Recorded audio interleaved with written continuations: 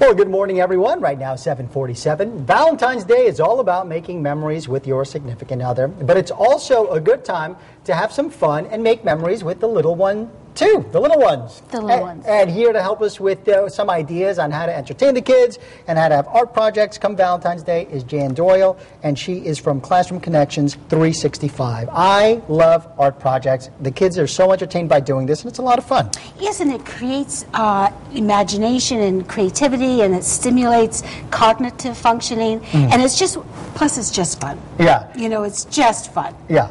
So these are some wonderful art projects, very simple. Parents can do this with just about anything. Yeah, look at that. Yeah, this is just, um, a kindergarten teacher gave me this. This is just folded paper, a little heart, put it on the refrigerator. Yeah. How cute is that? And, and you know the thing about this is that parents will keep these forever. I mean, Yes, they create they a do. folder, and all the whenever kids come home from, from school with art projects, they tend to, to put them away and then show them to the children, you know, later in life. So Absolutely. And if you want a Valentine's Day box for Uh-huh. all a Valentine's Day card, that's made out of a pasta box. Uh-huh. You can use anything, a cereal box, whatever you have around the house, and you can keep it. And the card inside is from a little second grader in Branford. Oh, and look at it's, that. It's just adorable. You can make your own cards.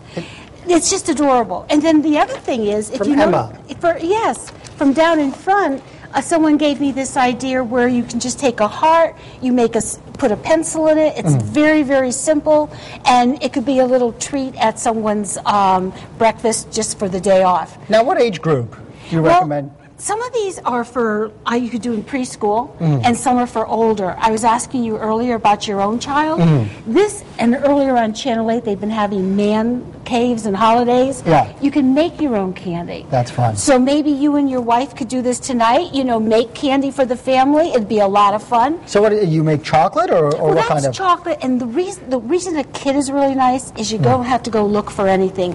Everything is in Everything's there. included. Every, but there's tons where, of where, recipes. where does one pick up one of these? Any of the craft stores, the sewing stores, it's really a, a great little uh, item to have. But if you don't have time to run out and get that for today or tomorrow, buy it after Valentine's Day and they'll all be on sale. Yeah. You don't have to you don't do have to do it.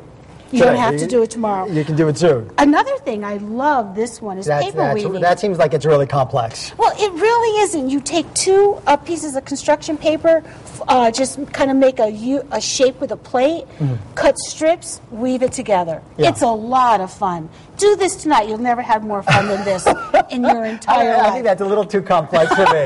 the, the paper weaving. I think mine would be more like this. Just draw, draw a face on it. And then, if you really want to make a connection to schools, Uh-huh. you can take um, hearts and put have the child put on what's different, what's the same, and Yeah. these are skills that they need in math and reading. They compare and contrast, and this is one is same size. Uh-huh. They use this in um, science. So these are activities that they can do and do at home, have fun. You can reinforce classroom skills, Sure. but you're having fun as a family. Yeah, uh, I mean, probably recommended that the parents cut the hearts out and whatnot, and then have the kids glue them together. Yeah, depending on the age of the child. Sure. But if you get to, it, what an, what a family night that is, getting together and making this is simple. Anybody could do. This is just a pot. Yeah. Make something for grandma. Put some hearts around it. Put in um, some dirt. Put in a packet of seeds, and there you have a And, gift. and there you go. And Grandma would probably love that gift forever. Love it. Absolutely love it. Jan Doyle, thank you so much. These are all great ideas, and I hope uh, people at home uh, take it to heart and actually uh, spend some quality time with their kids, coming up with great artwork. Thank you. Oh, thank you so much. Thank you so much. Uh, well, everyone, if you want more information on uh, Jan's suggestions, go to WTNH.com, go to the weekend section, and then uh, you'll have all that information right there for you.